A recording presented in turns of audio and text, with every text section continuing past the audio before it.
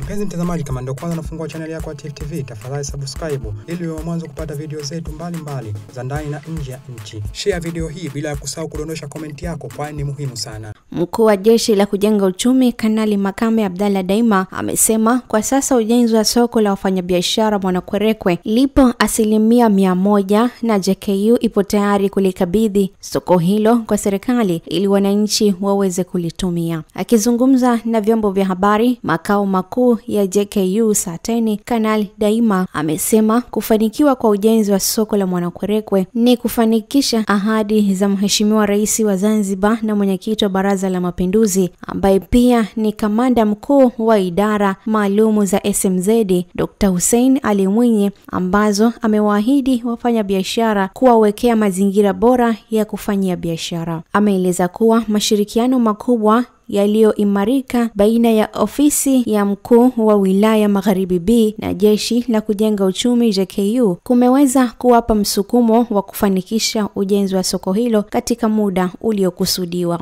JKU ni jeshi na kamanda mkuu ni Mheshimiwa Rais. Kwa hiyo jeshi la kujenga uchumi tuko tayari kupokea mradi wowote ambao tunakabidhiwa na serikali yetu tukufu ya Mapinduzi Zanzibar, kuifanya kwa mahiri mkubwa na kwa ubora uliotukuka.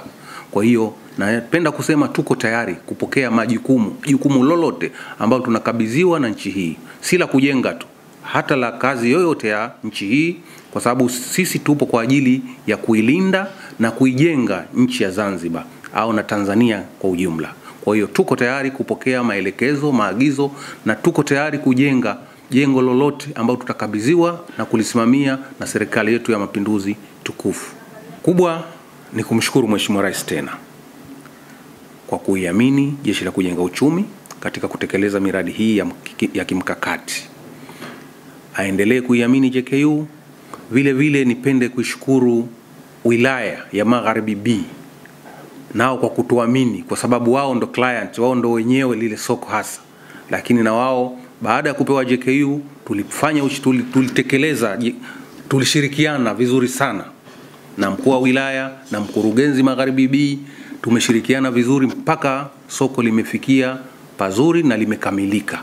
Kwa hiyo naomba wananchi, soko lile tulitunze, kwa sababu kujenga pati one, lakini kulitunza soko lile ni pati ya pili ambayo sisi wananchi na wafanyabiashara wote walitunze soko lile iwe picha nzuri kwa Zanzibar na taifa kwa ujumla na lilete tija ambayo Mheshimiwa Rais ameikusudia. Aidha, Kanali Daima ameishukuru serikali kwa kuiamini JKU katika kutekeleza miradi mbalimbali mbali, ikiwemo ujenzi wa soko la Mwanakwerekwe sambamba na kuwaomba wananchi watakaofanya biashara katika soko hilo kuhakikisha wanalitunza ili liweze kusaidia jamii. Ni mshukuru Mheshimiwa Rais wa Zanzibar na mwenyekiti wa Baraza la Mapinduzi Dr. Hussein Almwinyi kwa maono yake mapana na kutekeleza ahadi kwa wananchi wake hasa kwa wafanyabiashara kujenga masoko haya. Mimi mkuu wa JKU au Jeshi la Kujenga Uchumi, katika masoko haya nimetekeleza